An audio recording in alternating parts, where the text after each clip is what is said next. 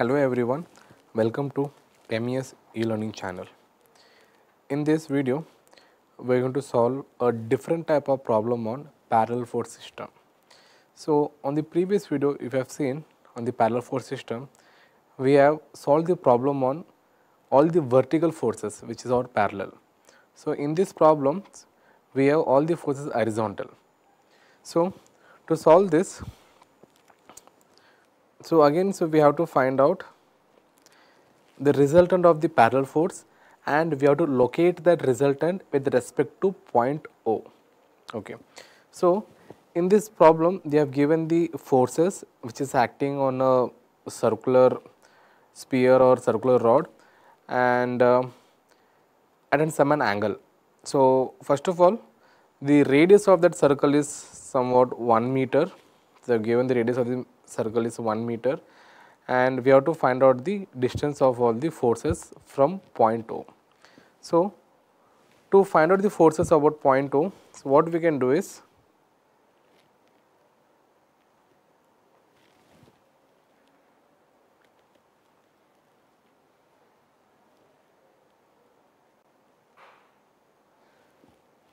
So, we can draw a perpendicular line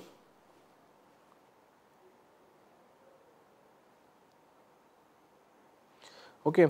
So, if you draw this perpendicular line what we get is a triangle.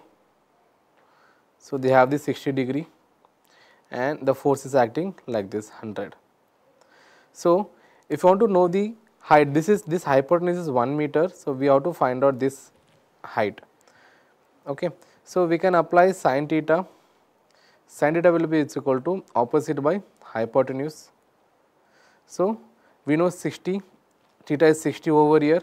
So, we are concerned about the opposite side. So, opposite side will be equal to sine 60 into hypotenuse that is 1 meter and if I put sine 60 on the calculator I will get as this opposite side is 0.866 meter.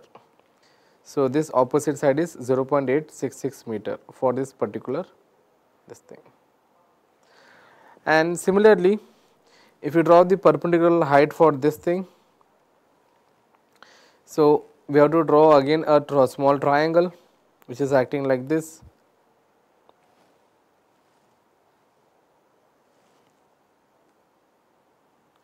Here this is 45 degree. In a similar manner we can find out the opposite for this as well. So, I am taking uh, this is also 45 sine 45 degree into 1 meter which is equal to this opposite side. So, this opposite side for this particular triangle is sine 45 which is 0 0.7 7 meter. And in this diagram again if you draw the perpendicular lines so both the triangle has the same 30 degree. So i'll just solve only once. So again for this particular diagram it is 30 degree. This is 1 meter and we have to concern about this thing. So if i take a sine theta sine 30 degree into 1 meter and that will be the opposite side this side opposite side. So sine 30 is 0.5 so this opposite side is 0.5 0.5 meter. So almost we found all the uh, distance from point O. So, now we can redraw the diagram. So, like this we can redraw. So, this is our quadrant right this is our starting point O. So, this 100 Newton is acting at a distance of 0.866 meter from point O. So, we can draw a line of like this 100 Newton and this could be the distance. The distance is something 0.866 and we have another force that is 50 newton which is below the O. And this is also acting away. The distance for this thing is 0.7 meter. So this is 0.8 and this is 0.707 meter and the second force which is acting 80 Newton. So, I will write it over here, I will draw it like this 80 Newton and the bottom force is also acting 150 Newton. This is 150 Newton. So, now the distance for this is 0.5 meter and this is also 0.5 meter. So, we have converted this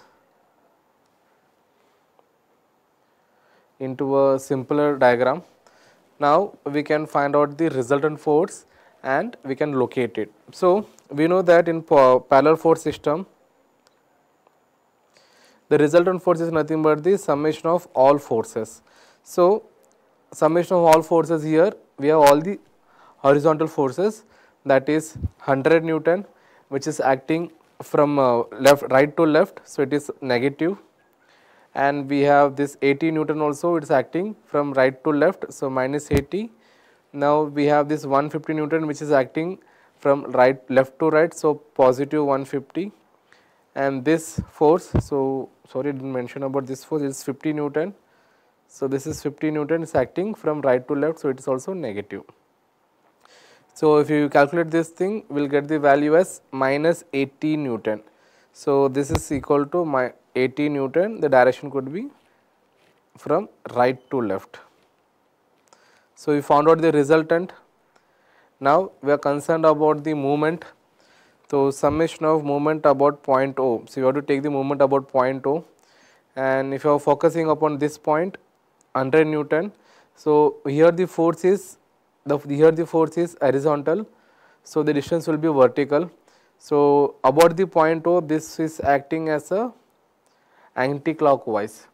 Okay, so, this will be positive. So, 100 into the vertical distance is 0.866. Now, again so we have one more force that is 80 Newton. So, about the point O, about the point O this is also a anti-clockwise direction. So, 80 into positive 80 into 0.5. So, here this is the distance 18 to 0.5. Now, now about this 50 Newton, this 50 Newton is making an clockwise direction about the point O, it is a clockwise direction and the distance is 0.7. So, negative of 50 into 0.707. Now, the fourth force that is 150 Newton. So, 150 Newton is making an anti-clockwise about 0.2. So, positive of 150 into 0.5 meter. So, I hope you understood the sign convention and all. So, if you put the, in the calculator, we will get the summation of moment about 0.2 will be equal to 1665.25 Newton meter. So, which is a positive, so we will get it as a anti-clockwise direction. So, in the same question we have to locate this resultant with respect to we have to locate this resultant with respect to point O, right. So, we know that one formula that is if you want to locate we have to use the Varignon's theorem about the position. So, we have to apply applying Varignon's theorem to find the position.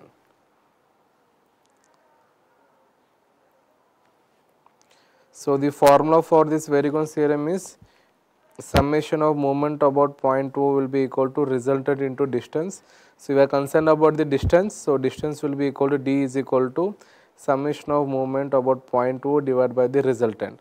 So, summation of moment is 166.25 and the resultant is acting downward which is a negative, but sorry acting from right to left which is a negative. So, we can take only the positive value 80. So, if you calculate it d will be equal to 2.078 meter.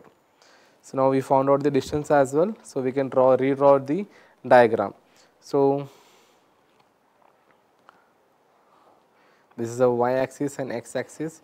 The resultant is acting from right to left. So, it is a 80 Newton, 80 Newton and the distance we found out as 2.078 meter this is the point 0 right and this is equal to d. So, I hope you understood this uh, type of problem. I hope to see you in next lecture. Thank you.